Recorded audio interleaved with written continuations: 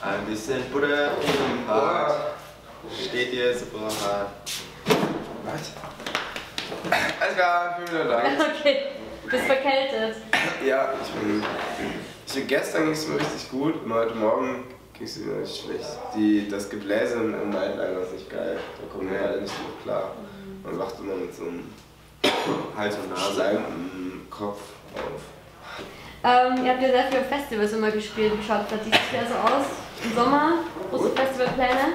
Cool. cool. Sieht gut aus. Ja, sind auf jeden Fall welche dabei. Wir gehen aber dieses Jahr vor allem mal in die Länder, in denen wir letztes Jahr nicht waren. Wir sind nach Schweden und nach Finnland, nach Portugal, nach Ungarn, aber auch in Deutschland und Auch in der Schweiz.